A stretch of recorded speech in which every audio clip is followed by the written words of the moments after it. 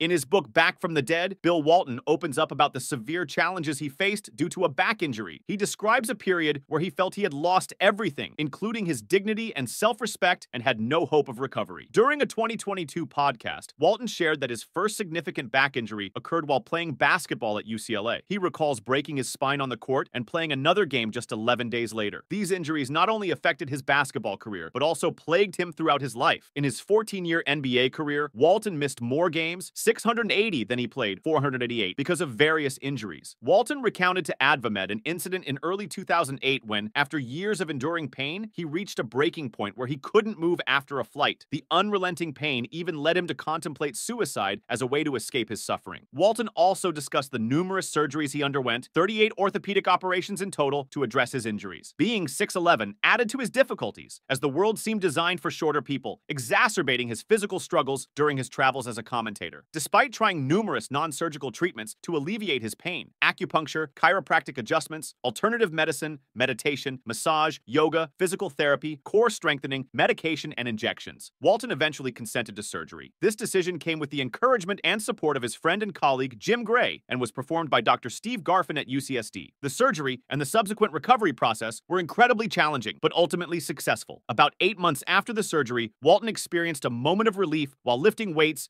when he realized his pain was gone. For the first time in years, he felt hopeful about his recovery and looked forward to enjoying activities he loved, like biking. Post-surgery, Walton emphasized that people his age should focus on activities such as swimming, weightlifting, or biking. He expressed deep gratitude to his wife, Lori Matsuoka, who cared for him throughout his ordeal. Lori worked full-time with Freedom Dogs, providing service dogs for military personnel. Walton highlighted her work in a 2022 interview with Al Franken, noting that more service members die by suicide than in combat. In a 2016 interview interview with David Axelrod on CNN, Walton shared his joy at being pain-free and medication-free after his surgery. He felt healthier and happier than he had in years and considered himself incredibly fortunate. Walton's sudden passing was a shock to many. Known for his vibrant and positive personality, he left a lasting impact on those he met. He often spoke fondly of his favorite band, The Grateful Dead, and was always ready to voice his opinions and advocate for others.